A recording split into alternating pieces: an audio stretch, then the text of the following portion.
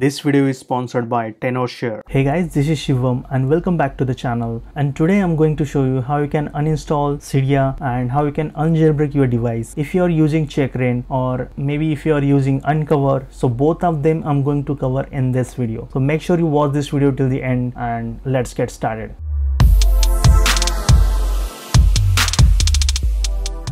4uKey to unlock disable iPhone without using iTunes. It unlocks iPhone, Apple ID and lock screen, Touch ID and Face ID. It bypass iPhone password instantly. You can get TenorShare 4uKey software on Mac and Windows. Check out the website link in the description below.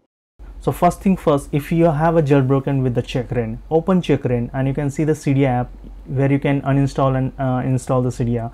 So anyway, you can see that red button which is the restore system so there we go. You just click on it and now you can uninstall jailbreak files and other um, uh, changes made of the operating system without erasing your data and all that.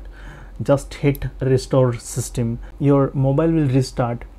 So as you can see the Cydia is gone completely and now you are in a iOS stock mode completely. So now you are no longer jailbroken uh, mode so that's a very simple trick to uninstall Checkra1n from your device and uh, that's where you can remove Cydia. Now next step I'm going to show you on Unc0ver how you can remove Cydia and unjailbreak your device using Unc0ver in case your Unc0ver is re uh, revoked and you are no longer getting Unc0ver so wait for the certificate to sign and then you can install Unc0ver and then you can follow this method now go to the Cydia. And as you can see I'm um, I'm using Batchomatic to back up my all the tweaks and repo which I already had before jailbreaking. So with this tweak you can literally uh, back up everything from your uh, device uh, about jailbreaking stuff and you can restore them without any anything losing.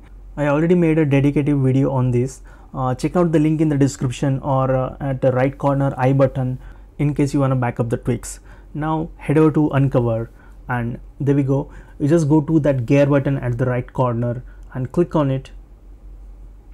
And now if you scroll down you can see um, first thing first we're gonna on restore root fs and toggle that on. So once it is done the next step we're gonna need to on uh, I mean disable is disable updates.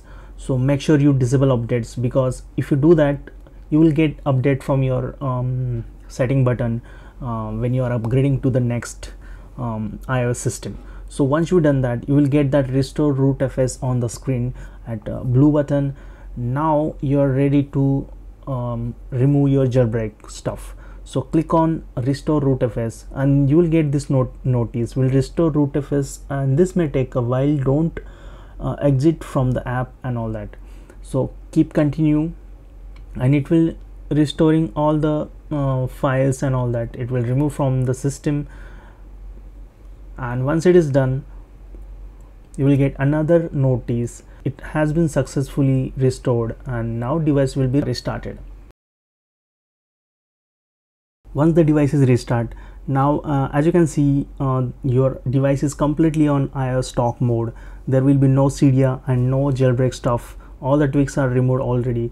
Now you are completely uninstalling all the jailbreak stuff. And this is the only way you can remove the Cydia from your system. You can't just uninstall that without an Unc0ver app.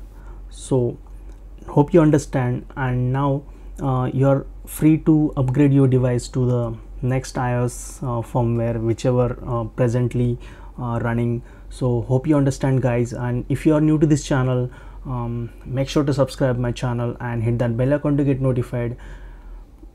And now you're ready to remove all the jailbreak apps and all that. And now I'm, I'm gonna be showing uh, how you can upgrade your device by going to the setting and uh, simply go to the general. And you can see in about I'm running on iOS 13.3 and now you can whatever version you are doesn't matter. And now you can simply upgrade your device by automatic upgrade. And there we go uh, 3.5 but currently uh, is iOS 14 beta uh, running and iOS 13.5.1 maybe most of the people are there. Maybe in future you are going to upgrade to the iOS 14 so the same method is going to apply for all the um, firmware in future so hope you guys understand. I'll, catch you in the next video. This is shivam signing off and it's always peace